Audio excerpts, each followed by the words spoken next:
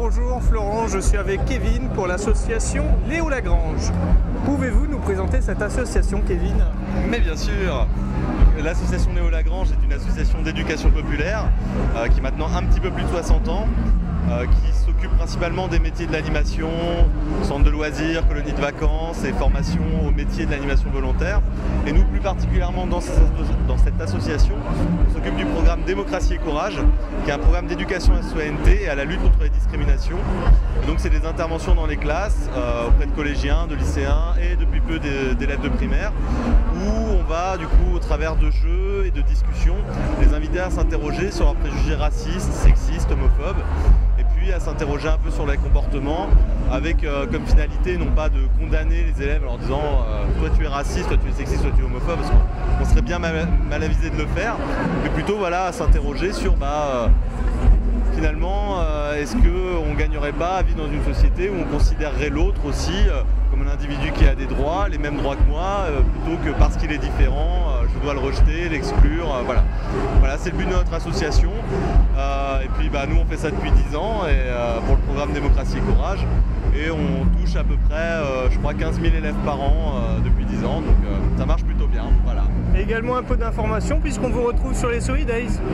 Et voilà, bah, on aime bien aller aux Solidays parce que bon, du coup c'est aussi l'occasion pour les volontaires qui interviennent de se retrouver dans un moment festif. Et puis finalement on utilise les mêmes outils qu'on utilise avec les enfants mais là de manière plus détendue avec des adultes et donc euh, voilà on s'amuse bien et ouais c'est un, très bon moment quoi. La question de la violence est également abordée avec l'association. Alors on a aussi des outils sur la violence, on a une journée euh, même dédiée à ça, donc, euh, parce que nous intervient nous sur 6 heures auprès des classes. Et donc on a une journée qui s'appelle Pour vivre ensemble, faisons un pas, c'est un titre très poétique et plein d'espoir. Et donc c'est toujours des outils, voilà, où là on va travailler avec les élèves sur la notion d'empathie, par exemple bah, la souffrance que j'inflige à l'autre, etc. Voilà, le ressenti de l'autre.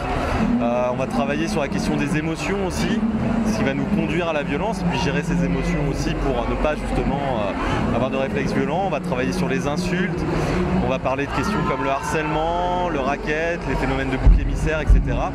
Voilà, et puis on va conclure par du théâtre forum, donc les élèves vont réfléchir ensemble à partir de situations qu'on joue finalement comment nous, euh, élèves lambda, on pourrait euh, essayer d'intervenir pour éviter qu'il y ait des situations de violence, de raquettes qui aient lieu, euh, voilà, sans inviter les élèves bien sûr à être des super-héros parce que le but c'est pas de se mettre en danger.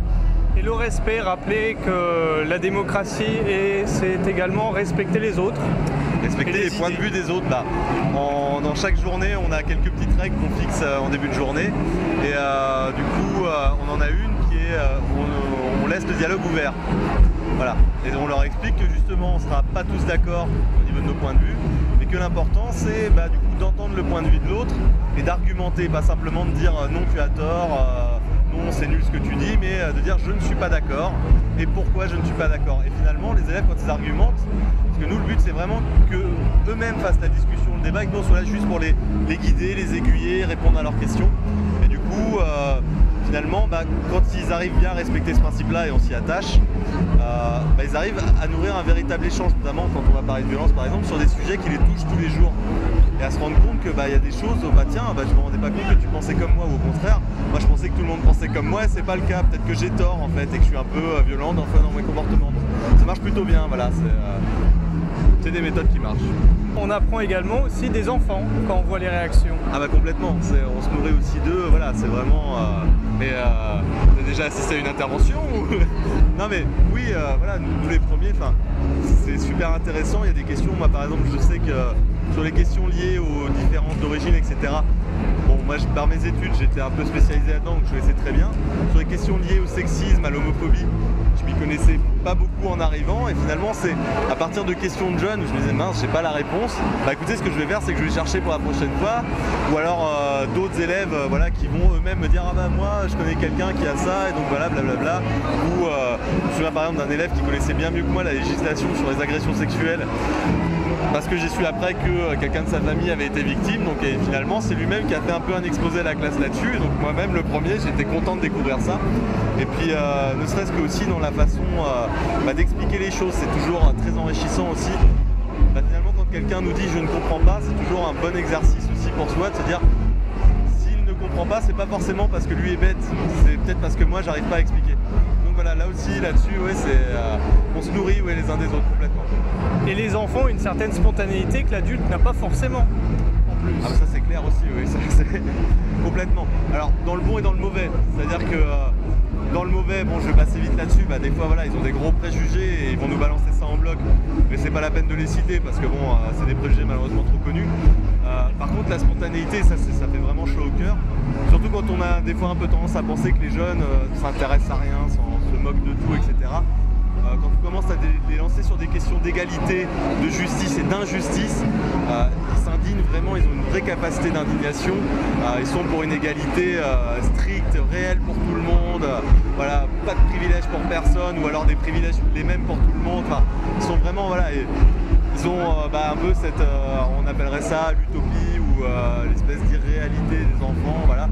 Mais euh, d'un autre côté, moi j'appelle ça plutôt de l'espoir. Quoi. Ils, donnent vraiment de l'espoir dans le sens où ils aspirent vraiment à un monde plus égalitaire et ils le crient vraiment dans les interventions. Et ça, ça fait, ça fait du bien de l'entendre aussi. Quoi. Et sur le stand, pour mettre en avant vos propos, on peut retrouver le mur des insultes. le mur des insultes qui marche plutôt bien. Alors ça, c'est un outil qu'on utilise justement dans la... pour parler euh, des insultes euh, de manière générale, mais aussi du sexisme, de l'homophobie et du racisme, des discriminations. En fait, on invite chacun, chacune à écrire sur un post-it une insulte. Alors bah voilà, bon là pour le coup je vais donner quelques exemples. Salope, connard, fils de pute, enculé, voilà. Je suis désolé du coup si ça passe à la radio pour vos auditeurs. Mais euh, du coup voilà, on va coller ces insultes en les classant selon que ce soit des insultes qui vont viser les femmes, les homosexuels ou euh, les gens selon leur origine, couleur de peau. Et finalement, bah voilà, là on a fait le. On a commencé à 16h quand ça a ouvert. Bon, à vue de nez, on doit en avoir un peu plus de 100 de collés, ou une centaine en tout cas. on se rend compte que eh bien, le gros des insultes sont toujours sexistes ou homophobes et, euh, ou euh, racistes, à caractère pardon, raciste. Voilà. Et du coup, bah, ça confirme que finalement les insultes au quotidien reproduisent aussi des préjugés euh, visant euh, les femmes, euh, les gens selon leur origine ou leur orientation sexuelle. Est-ce que cette idée de mur est venue des actualités? Ah non, j'ai presque envie de dire malheureusement, malheureusement l'actualité rattrapé. l'actualité voilà, nous a rattrapé, mais bon, voilà, sur les, débats qu'il y a pu avoir et les débordements homophobes qu'il y a pu avoir, euh, notamment sur le mariage euh, pour tous. Euh, malheureusement, c'est des propos que nous, dans les classes, on, a toujours entendus. voilà. Donc j'aimerais bien dire que c'était une nouveauté que ça a été un peu le réveil d'un monstre. voilà, malheureusement non, c'est des choses qu'on a toujours entendues. maintenant, je ne veux pas dire non plus que tous les jeunes, tout le monde est parce que c'est pas le cas. Il y a aussi vraiment des, classes où, voilà, moi je me souviens, on avait montré à une classe, de lycée, des témoignages de personnes homosexuelles et un jeune homme qui racontait comment il s'était fait euh, maltraiter au lycée, tabasser, insulter par d'autres. Et euh, cet élève était un peu le, viril, le, beau gosse de la classe, euh, très viril, etc. Et il a lâché une larme à la fin en disant je me rendais pas compte que ça pouvait être aussi dur.